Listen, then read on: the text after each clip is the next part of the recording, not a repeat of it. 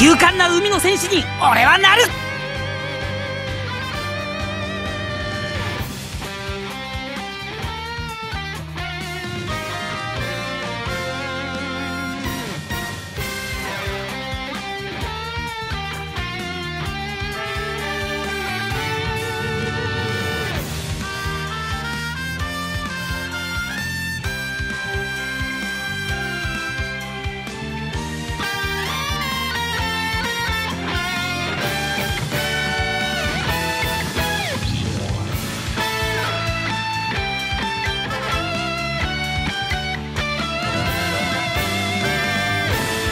な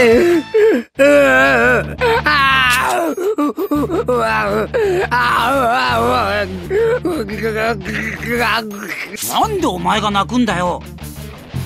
バカ泣いてねえよ。イーストブルーから連れ添った仲間と。船を守るために別れたおめえに。胸打たれ。とにかく分かったろ。俺とあいつらはもう仲間じゃねえ俺を捕まえたところで誰も助けになんか来ねえよ。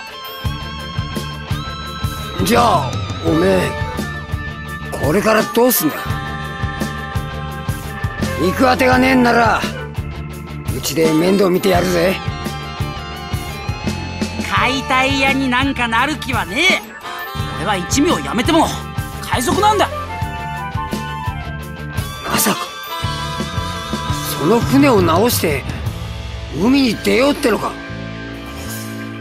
当然だ。こいつと一緒にまた冒険していつの日か故郷のイーストブルーへ帰るのさ。いや帰れねえよ。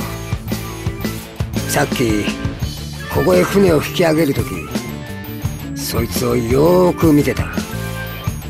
その船はもうダメだガレーラの査定は正しい。解体屋として解体を進める。ふざけんな！メリー号は俺の船だ！この船はもう次の岸へすらたどり着けねえ。そうなったらもう船じゃねえんだよ。うるせえってんだよ！本当は全部知ってんだもうエリーがダメだってのも知ってんだ空島でのある夜俺は誰もいないはずの船から木槌を叩く音を聞いたんだ。次の日の朝船は下手くそに修繕されてた。バカバカしいかもしれねえが俺はあれはメリー号の化身だったんじゃねえかと思うんだ。そりゃお兄ちゃん。クラバウターマンさ。船乗りに語り継がれる伝説の一つだ。本当に大切に乗られた船にのみ宿る妖精。正直そいつを見たと直接聞くのは俺は初めてだ。けどよ。それじゃおめえ船の限界を知ってて仲間と大喧嘩したのか。そう割り切れるもんじゃ。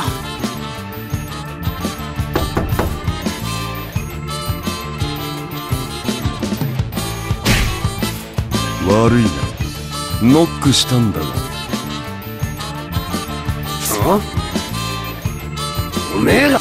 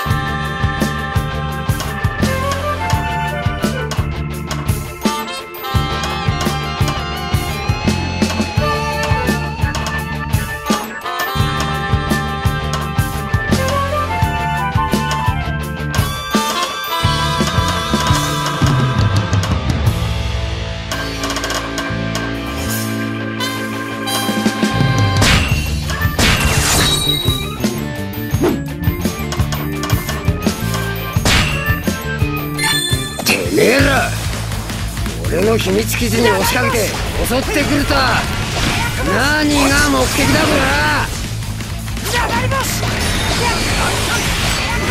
簡潔に話そう俺たちの本職は世界政府の諜報部員お前にはこの意味がわかるはずだ。ここへ来た理由。おいお前巻き込んですまねどうなってんだかわかんねえ。が今は協力した方が良さそうだな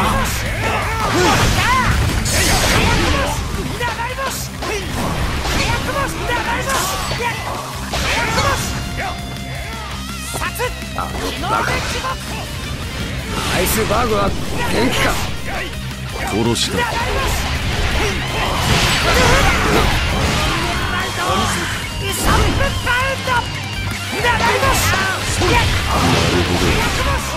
ここはかつての造船会社トムズ・ワーカーズの本社。人の思いに土足で踏み込むもんじゃねえぞ。生意気な。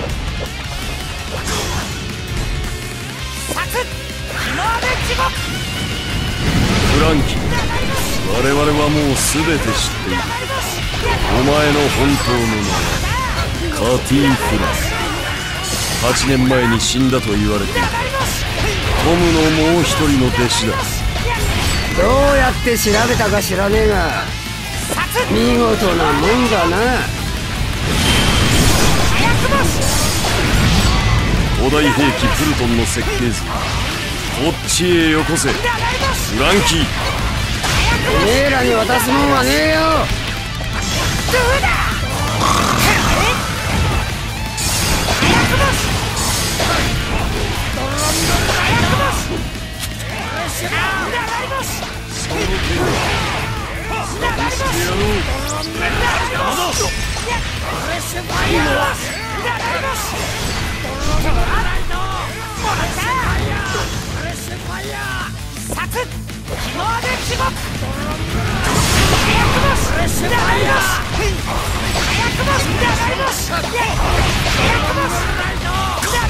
Hey!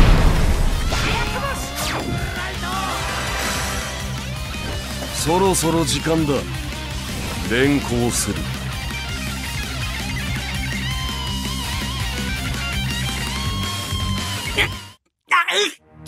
あっちくしょう話せっかなお前たちをエニエスロビーに連行する。プルトンの設計図のありかについてはそこで聞こう。間もなく海列車が出る。行くぞ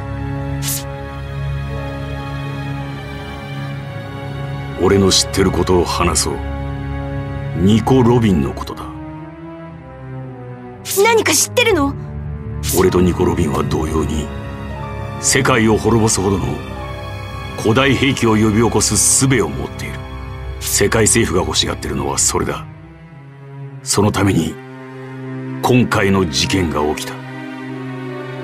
兵器が復活すればこの世界は大変なことになる。だがニコ・ロビンは麦わらの一味が無事に島を出ることを条件にこの事件に協力し世界政府に身を委ねると決めた。全世界に生きる全ての人間の命よりもあの女はお前たち6人の命を選んだんだ。